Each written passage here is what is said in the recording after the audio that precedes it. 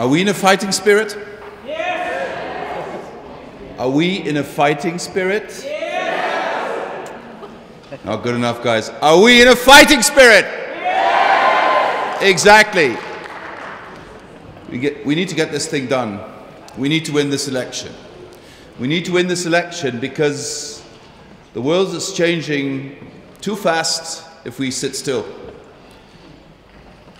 We need to be thinking about the next generation. We need to be thinking about the fact that the world is running out of its resources. We need to be thinking about the fact that there's a huge backlash based on nostalgia, based on reactionary politics. If that wave continues, we will see women stripped of their rights in more and more countries. If that wave continues, we will see our children and the youngest generation stripped of a good future. We stand in between that wave and the future. We will not play the game of rewriting the past. We will write the future. And we can only do that if we can get people out to vote. We can only succeed in May if you succeed in convincing people to vote.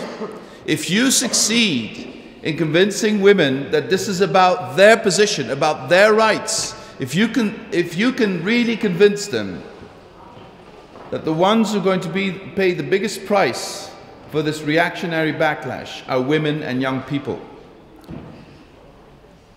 it only takes them half an hour to go out and vote.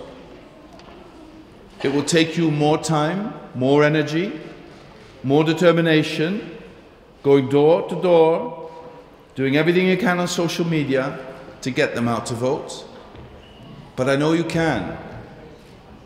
I depend on you. We as a movement depend on you. But it's time. It's time that we said no more austerity. It's time that we said fair taxes.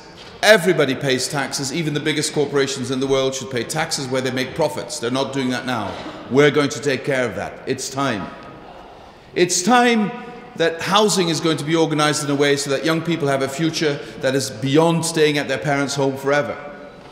It's time that we create affordable housing everywhere in all the major cities. Europe can do that together with our member states, together with our municipalities, together with our regions. It's time we started doing that. And it's time we initiated this huge, epic transformation of our society into a sustainable society. It's time that our economy became a sustainable economy, a circular economy. It's time that we take plastics out of the oceans.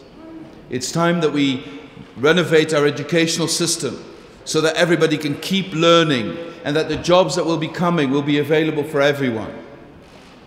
And most of all, it's time that Europe reconnected with its fundamental values, which are human rights, the rule of law, and true democracy.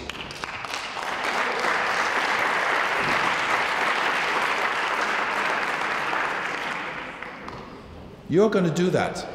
I'm sure you are. Every single one of you is going to talk to dozens of other people and you'll inspire them with what you've learned here today. You'll inspire them with your energy.